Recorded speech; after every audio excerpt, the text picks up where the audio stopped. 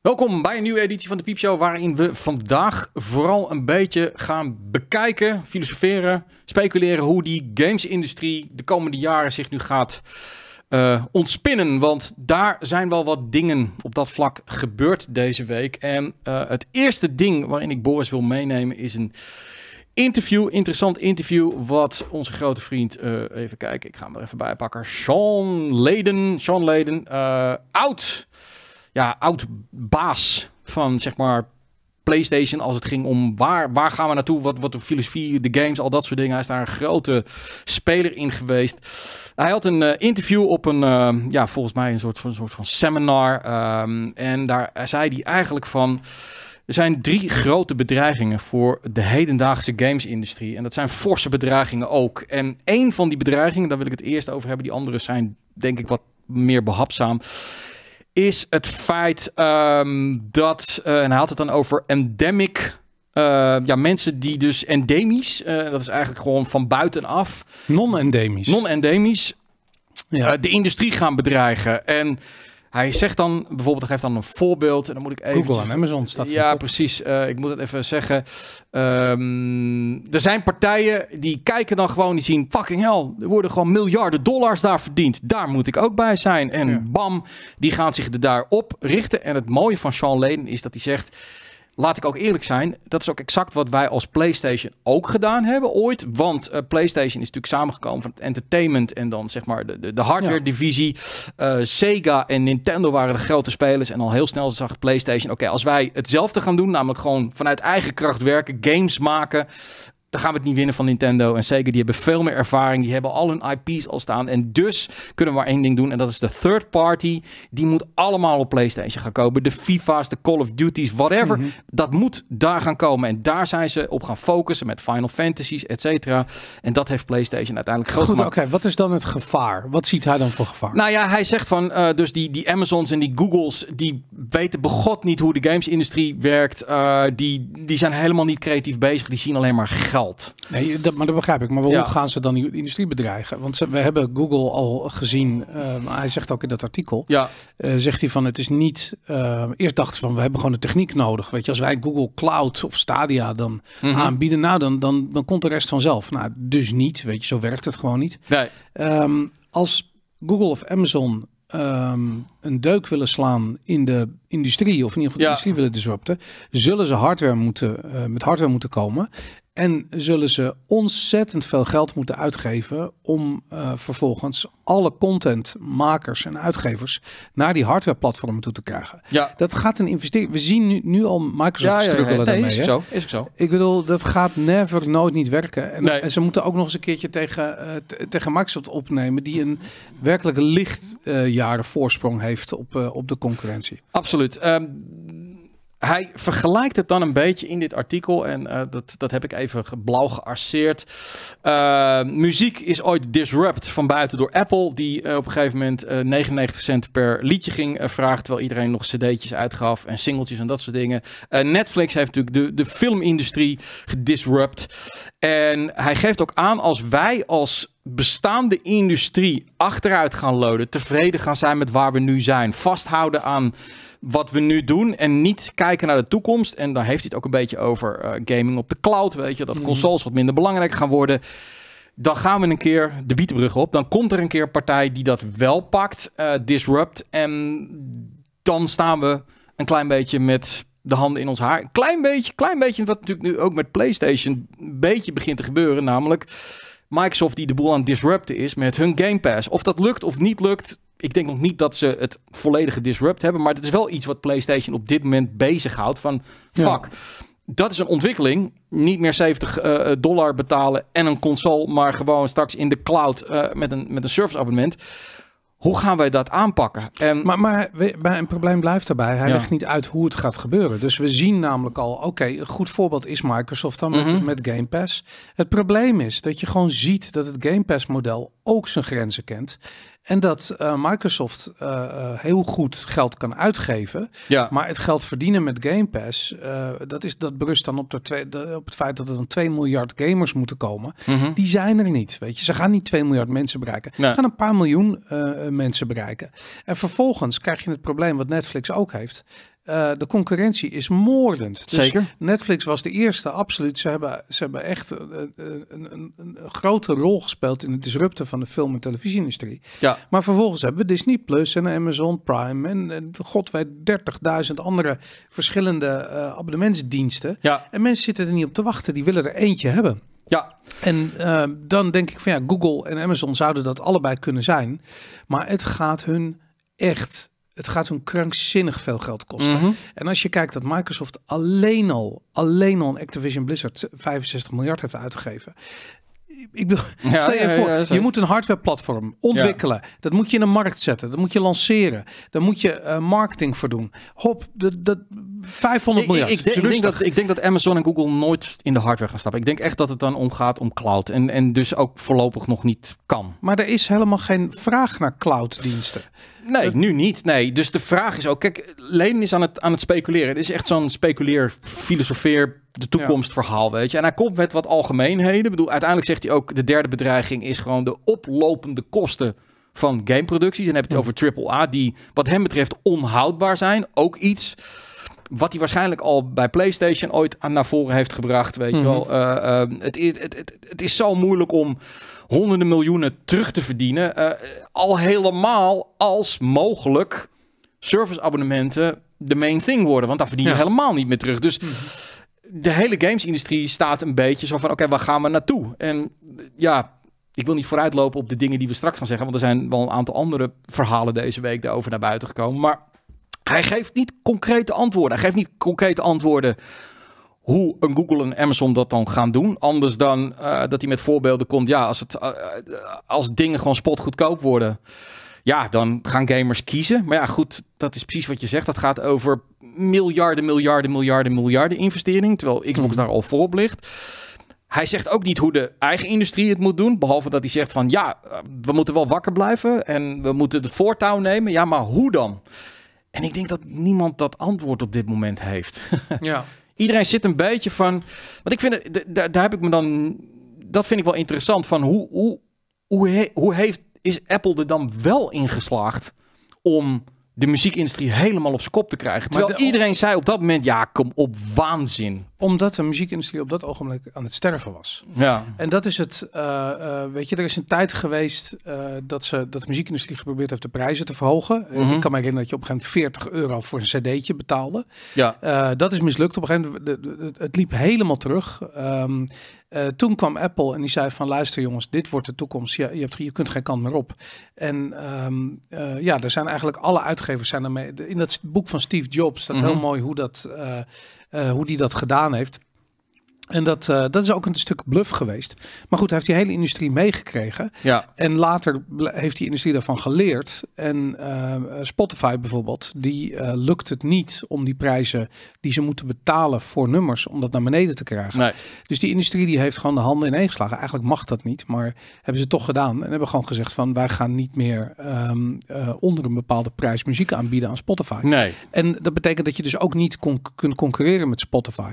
Nou, in de, in de game en in de, televisie- en of video-industrie is dat anders. Eh, omdat je gewoon zelf kunt produceren, bij wijze van spreken. Het verschil is dat er, er is een hele grote videoproductiemarkt. Mhm. En ehm, eh, weet je, als jij morgen een streamingdienst begint en je hebt genoeg geld, nou dan heb je fantastische content. Want er zijn altijd eh, regisseurs en acteurs die werk nodig hebben. In de gamesindustrie is het anders. Net als in de muziekindustrie. Mhm. Je hebt maar een x aantal hele grote artiesten. En iedereen wil er wel bij. En er zit ook wel kwaliteit bij. Maar het is een combinatie van je moet precies de juiste sound hebben. En de juiste marketing hebben. En weet ik veel. Het moet allemaal op het juiste moment komen. En, en, en, en muziek maken die resoneert bij mensen. Dat zie je nu met die Oliver Anthony. Die opeens van out of the blue. soort van Mhm. nummer 1 staat op Spotify wereldwijd omdat hij gewoon iets doet wat heel erg resoneert. Nou, dat is gewoon geluk hebben, weet je. Als Ja. je dat, ik bedoel, dat kun je, dat kun je niet produceren. En videogames zitten daar een klein beetje tussenin. Omdat het vijf jaar kost om een game te maken, minimaal, ehm, eh, ben je dus aangewezen op, op creativiteit. Ehm, je zou kunnen zeggen van, nou, ik, ik huur gewoon, eh, weet je, dat hebben we ook gezien. Amazon heeft dat ook gebeurd. Die heeft, eh, eh, hoe heet ze, was dat die? Jade Raymond? Jade Raymond aangetrokken en nog een paar mensen. En die gingen dan een RPG maken. Nou, de hele project werd een gillende puinzooi. Ja. Het lukt helemaal niet. En dat is, dat- dat is gewoon een goed voorbeeld van het blijft ondanks dat veel videogames echt gewoon uh, standaard 13 in dozijn rommel zijn, is het toch een art om het te maken. Mhm. En als je niet toegang hebt tot, uh, tot al die content, en daarom denk ik ook van wat, um, uh, hoe heet die Zweedse, uh, onze Zweedse vrienden, die Embracer. Embracer, wat die hebben gedaan, dat maakt Mhm. sens. Dat je gewoon al die shit opkoopt om het te hebben voor het geval dat Google en Amazon erin stappen en dat je gewoon je hele portfolio kunt aanbieden. Ja, En dan is het nog maar de vraag wat die games doen, maar ja, je dan moet, wordt het wel vrij kille en koude handelswaar games. Ja, dat kan, maar het, het blijft moeilijk om een goede game te maken. En, en als jij zeker. toevallig een, een, een creatieve studio bent, Ja. dan, dan, dan win je daarbij. Want je kunt dan naar Amazon, naar Google, naar Ja. Microsoft, naar Sony. Je kunt al die partijen toe. En nu, is het, nu heb je eigenlijk alleen maar Sony en eh, Microsoft die niet eens meer echt concurreren. Nee. Niet op dat niveau. En, ehm, eh, en, en, en, en Nintendo doen hun eigen ding. Er zit ook een ander spanningsveld, dat is ehm, muziek, film en games kosten geld. Creativiteit, het, het, het, het, kost geld om te bedenken, tijd, het kost geld om te maken, eh, tijd weer, Mhm. weet je wel, om dingen te produceren. En er zit dus aan de ene kant heb je te maken met een consument die steeds minder wil betalen, maar wel verwacht dat ze dezelfde kwaliteit kunnen krijgen. En anders betalen ze niet. En anders betalen ze niet. Dus de producent heeft dus te maken met het feit dat ze hetzelfde moeten maken voor minder geld. Terwijl juist bij gaming op dit moment het steeds meer geld kost. En daar zit gewoon wel een probleem. Dat bijvoorbeeld eh, ehm, Netflix heeft dat ook het probleem van er komt X binnen. Maar het wordt steeds moeilijker om, omdat er zoveel concurrentie is om mensen het bij te houden. Daar hebben ze blockbuster series voor nodig. Die kosten weer geld. Ja. En dus wordt er gewoon aan het eind van het verhaal te weinig winst gemaakt. En dat is een probleem waar Microsoft tot op de dag van vandaag ook nog mee aan het worstelen is. Alleen zij zijn op dit moment een beetje de alleen speler. Dus ja, een beetje dom om nu op te geven. Dus die gaan er wel mee door. Maar dat, dat weet ik niet. Want, Ja. want ik vraag me af of er bij, eh, bij de top van Microsoft de focus leeft dat ze dit, eh, dat ze dit moeten doen. we, hebben, we Ja. hebben een hele chagrijnige eh, Phil Harrison gezien. Phil Spencer bedoel. Eh, sorry, Phil Spencer. Ja, Die, ehm, eh, die op een gegeven moment zoiets had van ja, we- weet je, ook dat verhaal, ook weer rond de Embracer groep, dat er Mhm. 2 miljard teruggetrokken zou zijn. Ehm, eh, de moeizaamheid van de overname van Activision Blizzard. Daarin zie je gewoon dat, dat bij de top van Microsoft ook zoiets uh, moet, moeten we dit wel doen? ja. Terwijl, terwijl Google en Amazon die kijken zoiets van, ah, dat is wel interessant wat daar gebeurt. Maar de, je, weet je, er worden miljarden verdiend, maar Nee. er worden eerst eh, honderden miljarden uitgegeven. Maar is hun het filosofie van het management ook niet zozeer van hey, het is allemaal leuk en aardig die games. Het enige wat wij willen is dat er veel meer, veel meer in die cloud gaat gebeuren. Alles moet gewoon die cloud Absoluut. in, want daar Ja, gaan we geld Daar voor. wordt geld Dat is hun lange termijn. Ja. En op een gegeven moment moet dat waar blijken. Hè? Op dit moment, eh, gaming in de cloud is nog gewoon heel klein. Dus daar gebeurt niet zoveel. Eh, nou, dat ben ik niet met je eens. Ik bedoel, probeer maar eens een game. voor, voor, voor, voor Xbox geeft dat duidelijk aan. In, in, in die, eh, die gesprekken die ze hebben gehad bij de CMA geven ze aan dat de cloud nog niet zo'n big thing is als het gaat om gamers. Gamers gamen nog niet echt in de cloud. Nee, nee, nee. Wat ze niet doen is die cloud streaming. Dat doen Ja, ja. Maar al die games, al die games draaien eh, ja. online van online componenten. Trek maar een keer je netwerkkabel uit je Xbox en kijk Ja. wat je nog kunt spelen. Helemaal niks meer, weet je. PlayStation, idem dito. Alles moet gecheckt worden. Alles moet eh geüpdate worden, weet ik veel. Het is constant bezig met, met, met eh, online interactie. En dus verdient eet, eet Microsoft op dit moment gewoon van twee walletjes. Ik bedoel, Ja. iets wat PlayStation niet kan doen, want die gaan die gebruiken gewoon Microsoft Azure. Exact, voor- dus ja. die moeten het echt van die games hebben. Nintendo idem dito, alleen dat is een heel ander verhaal. Google zou dat weer wel kunnen en Amazon zou dat ook, want die zijn, zitten allebei ook volgens mij gewoon in, in, in, in cloud. Ja, Eh, dat, zou, dat zou kunnen. Maar goed, dan heb je eh, wel... eh, kijk, dan moeten Google en eh, Amazon... die moeten gaan concurreren met iets wat Microsoft al ontwikkeld heeft. Ja, En het is de vraag, wat neemt ehm, eh, Sony bijvoorbeeld... Wat, ne- wat neemt PlayStation precies af bij Microsoft? Mhm. Weet je, die hostingcapaciteit kunnen ze overal inkopen. Weet je, er zijn misschien Ja, ja. tien cloudbedrijven. Maar ehm, hoe heeft Microsoft dat ingericht voor, voor PlayStation? Hoe werkt dat precies? En dan, ik, wat ik denk wat er gebeurt is, het is zo'n grote klant dat Microsoft is gewoon aan de slag gegaan om gewoon Ja. custom oplossingen te maken voor PlayStation. En dat, ehm, ja, dat ga je niet eventjes kopiëren naar eh, Amazon of naar eh, Google. Nee, plus dat natuurlijk, eh, en daar is Stadia tegen aangelopen. en daar loopt Amazon en Google ongetwijfeld ook tegen aan. Dat de grote partijen met de grote games, de EA's, de Ubisoft, die hebben niet zo heel veel behoefte op dit moment aan exclusiviteit voor zo'n nieuwe partij. Omdat dat gewoon te weinig opbrengt. Of ze moeten met een shitload aan geld komen. Nou ja, dat, dat, dat, dat soort bedragen zal niet gauw gebeuren. En dus wat je bij Stadia zag, je komt altijd aan het eind. Oh ja, de game is ook nog op Stadia te krijgen. Ja, dan heeft de hele wereld hem al gespeeld. En... Maar het, en het is gewoon niet tof om die shit te streamen. Dat wil je niet. Nee. En dat, kijk, maar dat is, dat is één kant van het verhaal. Hè. Dat is gewoon de, de, naar de consumenten toe een platform Mhm. bouwen. Zoals Stadia of zoals Game Pass. Maar eh, aan de andere kant heb je dus die achterkant. Weet je? En dat is bijvoorbeeld wat PlayStation afneemt bij Microsoft. Dat Azure. Dat zie je als gebruiker niet. Maar dat, is wel, dat wordt wel van een Microsoft platform afgestreamd. En eh, dat, daarin kunnen ze natuurlijk gaan concurreren. Weet je, daarin kan, ik bedoel, eh, als eh, Amazon eh, zo meteen naar, weet ik veel, naar Ubisoft gaat en zegt van, luister, ik, ik, ik richt een, een, hele omgeving voor jullie in en ik zorg dat het goedkoper is en beter streamt en weet ik wat dan jullie eigen service. Nou, dan, dan Ja. gaat, gaat Ubisoft gaat overstappen. En zo moet je dat dan doen. Ja, Nou, maar, dan, maar dan ben je meer een Azure dan dat je een game publisher bent. Als ja, maar Amazon, Microsoft ja. verdient meer geld Nee, aan die achterkant Ja. dan aan die voorkant hoor. En, Want, eh, en ik denk dat dat gegeven, het feit dat die cloud zo ontzettend goed draait, dat daar zoveel geld mee verdient, ervoor zorgt dat eh, het management Phil Spencer en zijn en, en Kumsui op dit moment nog even met rust laat. Van oké, ga er maar gewoon mee door. Eh, tot een moment inderdaad dat, dat het een, een, een druppel op de totale gloeiende plaat is. En ze zeggen van ja, weet je, we stoppen er zoveel in. Het doet allemaal niet zoveel voor ons eh, als je het hebt richting de cloud, weet je wel. Van, ehm, we, gaan we, gaan andere dingen doen. Alle partijen kunnen bij ons gewoon die service af, af, afhuren. En daar Ja. zijn we ook tevreden mee. nou, dat zou kunnen. ja. Dat, dat is het gevaar. Ehm, Wilson, dat is de baas van EA. Die gaf ook wel weer, die was ook aan het, eh, aan het ouwe hoeren. Eh, die gaf een, best ook wel weer een leuke speech. Even kijken, ik weet niet waar hij het nou gedaan had. Oh, de, de Gold, Goldman Sachs Communicopia and Technology Conference. Nou, nooit van gehoord. En hij had het erover van eh, waar ik met EA naartoe wil en waar wij naartoe gaan. Want hij gelooft er heilig in. Is eh, hij zegt EA gaat ehm, rond de brands die wij hebben. The Sims, Apex Legends, Battlefield, FIFA, Madden. Gaan wij Universa bouwen. FIFA. eh, Ze hebben geen FIFA meer. Nou ja, EA Sports FC heet dat dan. Eh, goed, ik, ik blijf FIFA noemen. eh, heel koppig daarin.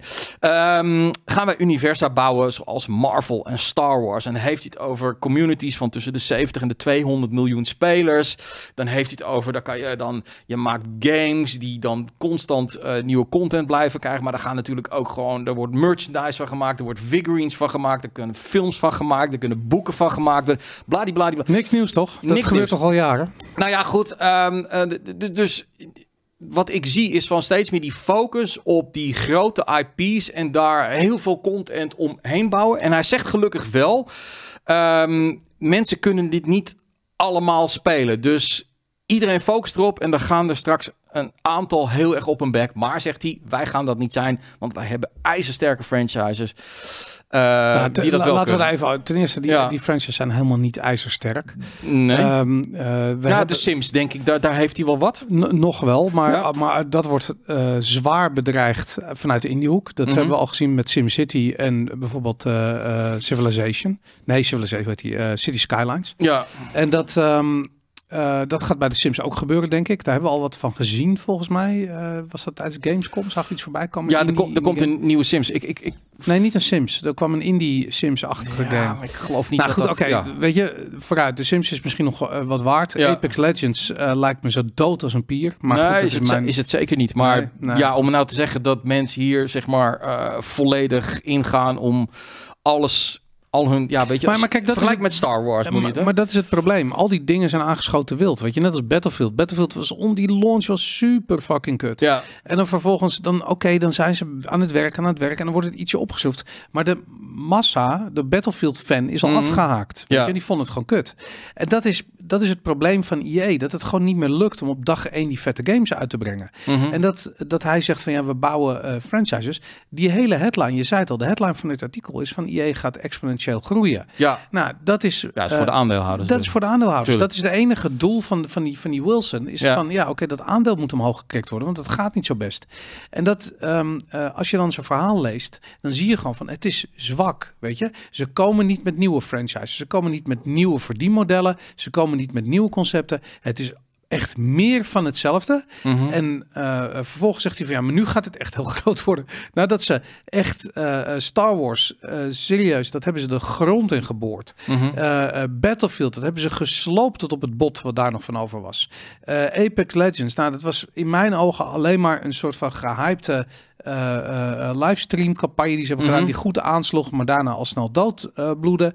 Ehm, ja, en dan de Sims, oké, leuk, weet je, een, een, serie voor meisjes eh, eh, vanuit de jaren negentig. Ja. Ik weet het niet, man. Ik, ik, ik, Nee. ik zie EA helemaal niet exponentieel groeien. Nee. Ik denk dat ze exponentieel wanhopig zijn om te proberen eh, om nog relevant te zijn. En dat wordt lastiger en lastiger. Nou ja, ook hier zie je weer dat probleem dat blijkbaar dus een gewone EA Sports FC of een gewone The Sims eh 5, wat er dan aankomt, een nieuwe The Sims die ongetwijfeld 20, 30 miljoen zal verkopen, weet je. Dat is niet goed genoeg meer. Het moeten communities worden van 100 plus miljoen mensen die constant maar weer content willen kopen daarvan.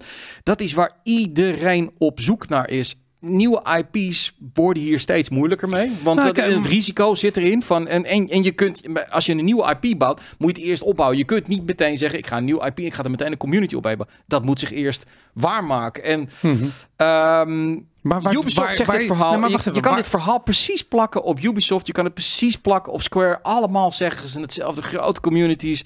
Dit en dat. Terwijl ik thuis zit te struggle om fucking hell nog überhaupt één game uit te krijgen. Want het is allemaal Maar, maar, fucking maar veel wacht te groot. even. Kijk, wat het hele ding is. eh, als dit plan...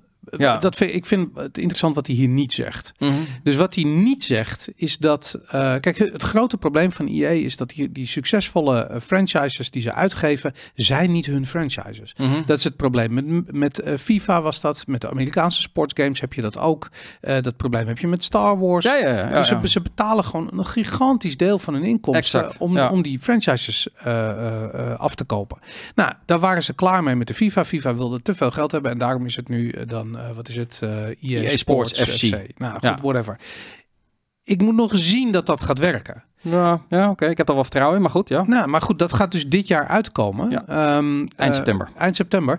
Waarom hoor ik hem hier? Want in, in theorie zou dat betekenen, eh, als eh, laten, we, laten we even voor het gemak zeggen dat ze een miljard verdienen Mhm. eh, met FIFA en dat ze daar, eh, weet ik veel, 600 miljoen van moeten aftikken aan, aan, aan, aan, de organisatie FIFA. Ja. Dan hoeft dat nu dus niet Nou ja, meer. goed, hij dat hij betekent dat ze grote winst maken. Hij, zegt hier, EA Sports FC could very well double in the next five years without too much work from us. Ja, dat is natuurlijk de droom van, die, van elk maar bedrijf. double hoe? Hoef- Double qua inkomsten, omdat ze niet hoeven af te dragen aan Community. FIFA. Ja, nee, dat zou, dat, dat zou Sorry, kunnen, dit ja. gaat niet verdubbelen. Dat, Nee. da- hoe dan? Dat, gaat gewoon niet gebeuren. Nee. Dus dat is gelul. Nou ja, En- hij zegt dan van, zonder uit te spreken wat het is, zegt hij van ja, eh, weet je wel, de FIFA, we mochten bepaalde dingen niet doen en nu hebben we vrijheid om allerlei dingen te doen. Dan denk Wat ik, voor ja, dingen dan? Ja, dat weet ik niet, dat maar, hij maar, maar omdat hij dat niet zegt, Nee. heb je dus het, dan weet je dus van dit is gewoon, je je hij is een persbericht aan het voorlezen Tuurlijk. daar. En Ja. ze hebben die plek hebben ze gekocht in die, in die stomme eh, eh, eh, keynote van hem.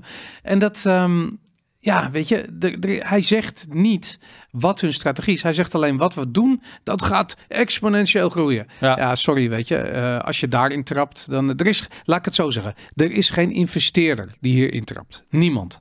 Nee. En dat is het. ehm, eh, dat, dat, dat betekent dat eh IE gaat nu slechter gaan. Eh, gaat zijn doelstellingen niet waarmaken. eh, gaat nog verder wegzakken. Ja. Is nog meer een kandidaat voor overname.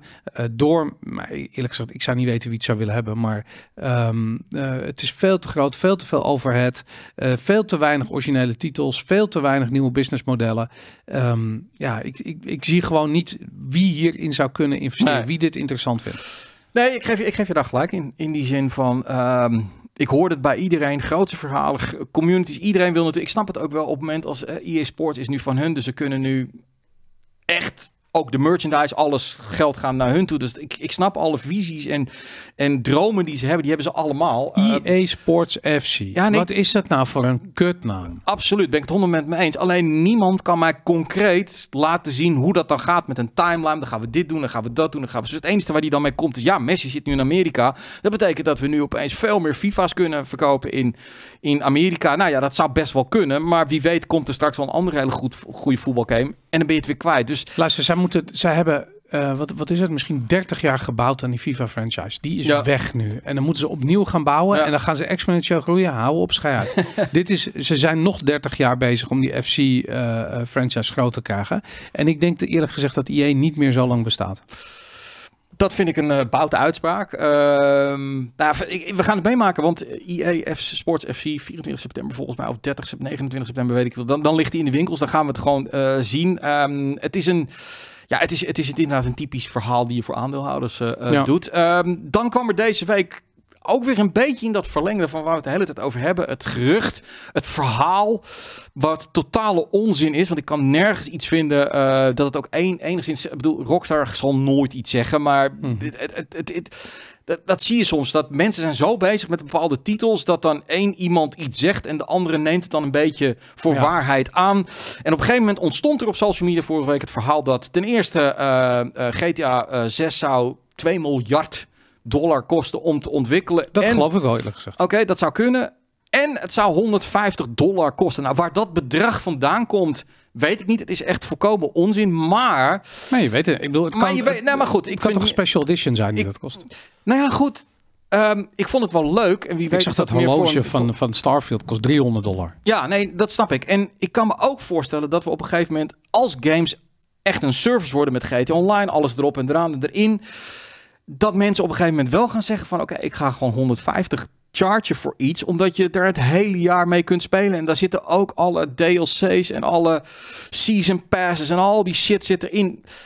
Ik weet het niet. Nee. Maar, maar denk jij dat de wereld al klaar is voor een 150 dollar game? Nou, ik, ik ik denk dat het. eh, ik denk dat Rockstar dat niet gaat doen. eh, Nee. Om de doodsimpele reden dat GTA Online zo ontzettend belangrijk is.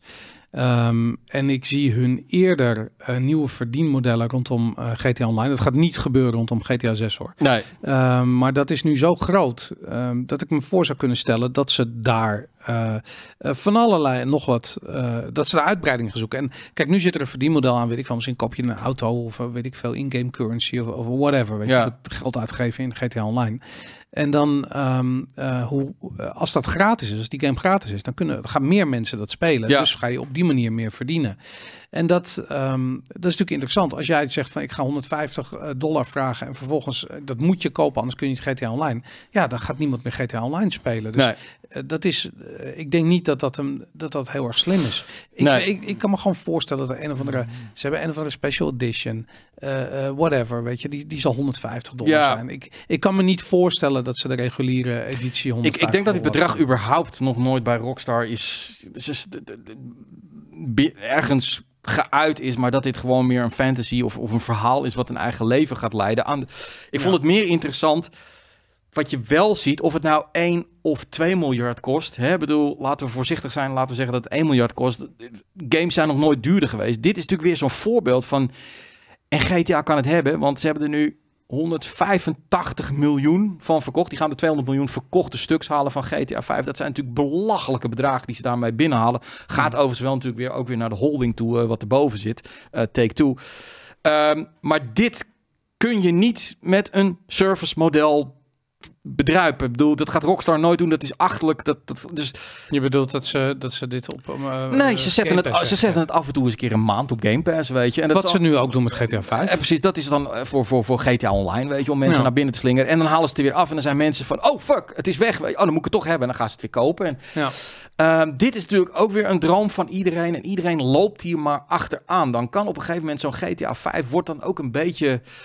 eh, de, de pest voor de industrie. Iedereen focust zich daarop. Dit is natuurlijk ook dat verhaal van dat mensen zien... fucking hell, je kan miljarden verdienen met games. Ja, met hele, hele, hele goede games. Nou, en, maar niet alleen goede games. Maar eh, kijk, de GTA-serie is natuurlijk zo ontzettend tijdloos en goed. Ja, Dat het... ehm, eh, ik bedoel, al, al wordt GTA 6 nog heel erg slecht, dan zal GTA 7 nog steeds goed verkopen. ja. Dus dat, er zit gewoon heel veel waarde daarin. En je kunt dat niet. Je, je, ik bedoel, je kunt eh 2K kopen eh, en het overnemen. Dat zou kunnen. Maar ik denk niet dat het lukt om, uh, om zoiets te kopiëren. Nee, zeker. Je kunt wel iets anders kopiëren. Je kunt andere dingen doen. En dat is wat er... De, al die vernieuwing tegenwoordig, die vindt alleen maar plaats in die, uh, in die indie-industrie. Mhm. En dat vind, ik, dat vind ik eigenlijk de grote winst. Ik vind dit niet meer zo heel erg belangrijk. Maar- Omdat ik gewoon zit van... Kijk, GTA doet wat GTA doet. Het maakt niet uit. Net als Mhm. Starfield. Het is goed en het is niet goed. Weet Ja. je? En dat ga je straks met GTA ook hebben. En eh, ja, het is allemaal niet meer zo belangrijk. Je gaat, Maar- de vernieuwing gaat daar niet vandaan komen. Maar het gevaar zit hem ook in. Wat je nu een beetje ziet, is. eh, kijk, ten eerste kun je niet van tevoren een developer zeggen: Oké, ik wil dat jij een game maakt die eh, zo rond de 150 miljoen stuks gaat verkopen. Dat is een, dat is een belachelijke opdracht, want dat, zo werkt dat niet. Het is Nee. maak iets fucking wreeds. En daar zit een ontzettend veel geluk bij. Ook nog eens een keer dat, dat het op het juiste moment de juiste vibe heeft voor de mensen, et cetera, et cetera. Mhm. Wat je vervolgens ziet, is dus wat ze willen is van je maakt zo'n game en vervolgens ga je er 10.000 dingen omheen doen. En je ziet al dat Rockstar de laatste tijd allerlei dingen eromheen doet. Hè? De GTA Trilogy, dan gaan ze proberen daar weer op in te cashen. Dat werkt dan weer niet, omdat dan de kwaliteit niet goed genoeg is. Ehm GTA Online werkt wel. Dus ze moeten oppassen met dat soort eh Nou ja, dingen, goed, want het ik- breekt gewoon de naam af. Nee, precies. Ik denk dat dit, dit, dit is een unieke game. Maar ik las dan deze week ook weer dat eh, Horizon, wat volgens mij net een paar jaar uit is, nu alweer een, een speciale editie krijgt. Weet je wel, met alles erop en eraan. En dat wordt dan nu alweer in de markt. Het gaat te snel. Ik zeg niet dat andere partijen het ook niet doen, maar het gaat te snel. Het constant maar... Maar bij GTA toch niet? Ik bedoel, we, we hebben... Nee, nee, nee, nee. Om- GTA maar- 5 was, een, was een Xbox PlayStation 3 game. Absoluut. Ehm, nou, daar hebben ze natuurlijk ook al wel weer meerdere edities van gemaakt. De PlayStation, dat, dat die geüpgrade werd. En Ja, dat natuurlijk. Dus- Maar, maar goed, dan zie je hoe lang dat al uit is. Dus Ja. de- de- ik bedoel, het is niet alsof we eh, een jaar wachten. Het is niet alsof ze aan, de- weet je wat, Maar dus- Assassin's Creed is. Er zijn gewoon niet zoveel games die je gewoon lang kunt uitmelken. En GTA is een van de weinigen waar dat wel mee kan. Maar je ziet dus ook dat niet alles wat GTA is ook weer in goud verandert. Ik, we- ik ben het niet met je eens. Ik denk Huh? wel, wel ik, vind, ik ben echt fan van wat er gebeurt rondom games as a service. Maar zou jij willen dat er dan elk jaar een nieuwe GTA uitkomt, zoals Nee. Assassin's Creed? Nee, daar gaat het me niet om. Het, Ja. wat- Waar het mij om gaat is dat ze die wereld... eh, kijk bijvoorbeeld wat er gebeurt met, eh, ehm, eh, met Fortnite bijvoorbeeld. Weet Ja. je? Ik vind dat Warzone doet het heel slecht wat dat betreft. Doet, doet het echt verkeerd. Maar wat het wel goed doet is bijvoorbeeld Elite Dangerous. Weet je? Ik bedoel, het is niet een game die iedereen speelt. Mhm. Het is gewoon een vrij niche titel. Maar je ziet gewoon van, weet je, dan komt Starfield uit. Dan, dan, dan zie je ook weer een uptick in hoeveel mensen Elite gaan spelen. Omdat ze gewoon zien dat het iets is wat Starfield niet is. En wat Mhm. zij wel goed doen. Nou, en dan langzaam een beetje, ehm, eh, eh, weet je, iedere, elk half jaar dat je de game opstart, is, is het nieuw, is het anders. Ja, En dat ga je krijgen. En niet elk jaar een nieuwe game, maar een wereld bouwen die je uitbouwt. ja, En dat, weet dat je, is GTA 5 natuurlijk niet. nee, GTA wat dat- Online is dat wel namelijk. In online wel. Terwijl wij natuurlijk met z'n allen zouden willen dat er verhalende content bij Omdat zou wij, komen. Omdat wij oude lullen zijn. Ja, en nee, dat absoluut. is gewoon Ja, hoe wij ja. er tegenaan kijken. Maar ik weet, eh, ik, ik denk dat er heel veel kids zijn die GTA Online spelen. Zeker? Die misschien GTA 3 niet eens gespeeld hebben. of GTA 4 misschien niet eens gespeeld Nee, hebben. Omdat die spelen gewoon GTA Online. That's it. Ja. Je kan lekker racen en huis en het lachen met die wapenstof. En die hebben misschien wel nooit eh, ehm, eh, de, de, de, de singleplayer Maar ja, game goed, gespeeld. dan is dit dus het voorbeeld. En zo zijn er een paar van wat iedereen wil. Want dit zijn cash cowen die, die geld blijven genereren. En dat is natuurlijk waar iedereen op zoek is. Waar EA, waar Wilson nu van zegt, nou dat kan, dat kan met al onze, al onze eh maar je kunt het wel eh, zeggen, hè? Ja, nee, Ja, dat, dus natuurlijk. gaat En maar dat- doen. precies, er zullen er maar een paar zijn die, die dat eh inslagen. Ja. En ehm, ja, dat, dat, dat gaat natuurlijk gevolgen hebben. Dat gaat natuurlijk ook inderdaad eh pijn gaan doen bij heel. Ja. We, we hebben bij, bij eh, eh, CD Projekt Red gezien, weet je, Cyberpunk, Ja. die zij wilden dat. Weet je, ik bedoel, Zeker. ze zijn er onbedoeld een beetje overheen gestruikeld Ja, eh, eh, met The Witcher. En weet je, en dan was dan die spin-off van The Witcher op, eh, op HBO, wat overigens niks met CD Projekt Red, The Witcher Mhm. te maken had, want die, eh, die was gebaseerd, Ja. die game is gebaseerd op een serie boeken. En die boeken stonden ook weer centraal, of eigenlijk aan de basis van die serie. Die serie is nu heel kut geworden, maar de eerste twee, drie delen waren volgens mij wel goed. En, ehm, en dan zie je gewoon van ja, ze waren er overheen gestruikeld. En nu wouden ze het zelf doen. En dat is Cyberpunk. En dan zie je dat het niet lukt. Die ambitie waarmaken is, het lukt bijna niet. Nee. Weet je? Ik bedoel, wat Rockstar Games kan, dat ze een game kunnen maken voor 6 miljard. En Ja. dat, het, dat het een bepaalde. En ik weet niet of dat gebeurt hoor, maar dat vond ik bij GTA 5 echt ontzettend knap dat de verwachting lag hier. Ja. En ze hebben de verwachting overstegen. Nou, dat is echt heel knap. Ja, ja, ja. Ik weet niet of ze dat nog een keer kunnen. Maar, maar anyways, dat, Nee. je ziet gewoon van ja, er zijn geen bedrijven die dat kunnen. Nee. Behalve eh, Rockstar misschien, Nintendo kan het misschien. Ja, En eh, vroeger was Blizzard een bedrijf die het kon. En dat is het denk ik. ja. Nee, daar heb je wel, eh, wel gelijk eh, ehm, in. En ehm, ja, nee, wat dat betreft is dan ook... Ik zit even echt een bruggetje proberen te maken naar... eh, dit vind ik dan ook zo leuk. Eh, we hebben natuurlijk Starfield gehad. Ehm, we gaan er nog aparte items over maken over, eh, over ja, innovatie, gebrek aan innovatie. Mhm. Mag je iets beoordelen op wat het niet is, et cetera, et cetera. en ik merk ook, het is een...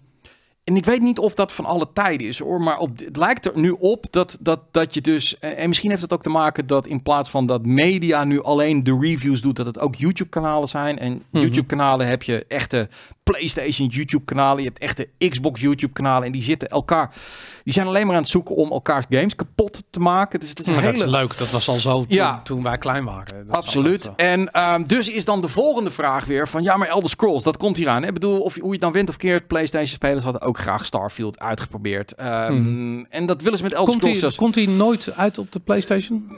Ja, zeg nooit nooit, maar volgens mij niet. En dit vind ik dan weer zo'n verhaal. Ehm, eh, dan, eh, dan vragen ze dit aan Phil Spencer van ja, Phil, eh, Elder Scrolls, komt dat, wordt dat weer alleen maar console exclusive? En dan geeft hij zo'n heel mooi algemeen verhaal dat ze het We want to make sure our games are available in so many different places. We're looking at millions and millions of players who will have access to Starfield and other game studios games. It's really about giving players choice how, around how they want to play and how to, uh, they build their library of games. En dan zegt hij van, we bekijken dit van spel tot spel. En dan zegt hij eigenlijk helemaal niks. Nee, Ehm, maar, maar ik vind het wel interessant. En ik, ik snap ook wel waarom, hè? want deze game is nog vijf, zes jaar hiervan weg. Mhm. Ik zeg maar even iets heel geks.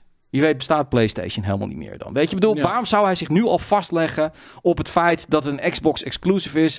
Wie weet, bestaat Xbox op dat moment helemaal niet meer. En eh, hoogstwaarschijnlijk heeft hij die baan niet meer dan. Dus ook wat nog eens een kan keer. hij er nu over Wat kan zeggen? hij er nu over, over zeggen? Het is dan het proberen vast te leggen, eh, met woorden in zijn mond te leggen die hij op dit moment gewoon niet zegt. En dan gaat hij in de PR-stand. Dan zegt hij, nou, we gaan het titeltje voor titeltje bekijken. Dan denk ik van, ja, kijk, als de, als de situatie exact zo is als nu, dan wordt Elder Scrolls gewoon exclusief. Aan de andere kant, wie weet, kan hij nu ook wel. Ze gaan een rekensommetje maken. Want het is nu volgens mij 6, 7 miljoen spelers die eh, Starfield aan het spelen eh, zijn. Wie weet, vinden ze dat aan het eind van de rit gewoon veel te weinig. Eh, en dan brengen ze het wel uit op Ja. PlayStation. Dat weet je gewoon allemaal niet. Nee, klopt. Dus eh, we gaan dat allemaal checken. Eh, ja, ik, vind, ik moet je zeggen, ik vind dit ook wel. Het, dit is echt typisch clickbait. dat is bedoel, zeker clickbait. Dit is ook een Ik fucking bedoel- clickbait eh, site. Eh, maar dat wilde ik gewoon even, want ik krijg, we krijgen die vragen ook best wel vaak bij Brief van Maandag, wat we ervan denken.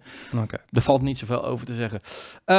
Dan, ehm, ja, de E3. Eh, nou, er is nog steeds een kans dat we dit dit jaar gaan doen. In ieder geval, Readpop en ESA hebben na eh, geen enkele editie ooit samen te hebben gemaakt, toch maar besloten eh, het huwelijk te ontbinden. Ja, waarom is dat gebeurd? Het is vanuit Readpop gegaan eh, in goede overeenkomst. Dus ze hebben gezegd, we hebben geen ruzie met elkaar. Eh, maar ehm, ja, eigenlijk niet echt een reden. Het is meer van dat van, nou, we vonden jullie fantastisch. Het was leuk om samen te werken. Bladibladibla, het ga je goed. En dan zegt Jezus ook van, nou, het was fantastisch om met jullie samen te werken. En we ja. hebben geen ruzie. maar maar even, even, eventjes in een noot. Tot, tot kort, eh, uit één, nog één dingetje. Eh, als het doorgaat, want de ESA zegt wij gaan nu weer nadenken over hoe de E3 en wij geloven erin, het gaat niet meer in de LA Convention Center zijn. Ja. Dat hebben ze er ook bij gezegd. Oké, goed. Ehm, Readpop is natuurlijk ehm, een, eh, niet alleen een eh, hele grote evenementenbedrijf. Zij doen Nee. onder andere de Comic Cons in San Diego en Ja. in New York.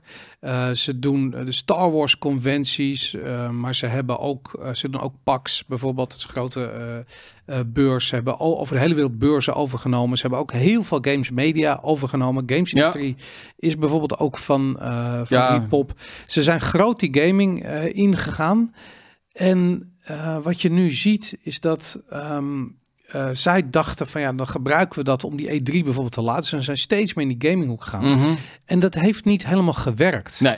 En eh, ik denk dat zij erachter komen. ehm, kijk, PAX was heel erg een, ehm, een grassroots uh, uh, evenement. Dus daar stonden in het begin stonden daar gewoon tafeltjes met erop wat game PC's waarop uitgevers wat dingen lieten zien. Mhm. Dat was heel low budget en daarom heel leuk voor uitgevers om in te stappen. En het waren allemaal lokale beurzen.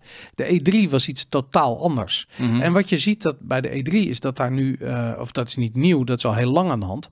Daar vindt een soort uh, uh, oorlog plaats, een PR-oorlog plaats, Mhm. uh, die, die altijd al speelt in de gamesindustrie. Dus wat je ziet is dat als um, Microsoft kondigt de Xbox aan, PlayStation kondigt aan dat ze 100 euro goedkoper, 100 dollar goedkoper zijn. Dat soort dingen zie je Ja. op de E3. Dat is, dat is die strijd die plaatsvindt. Voor ons lachen als, als, als journalisten als we daar aanwezig zijn, maar voor die uitgevers niet per se ideaal, want zij geven uh, tientallen miljoenen uit op zo'n E3. Uh, de, de vierkante meters zijn duur. Niemand komt op de beurs zelf.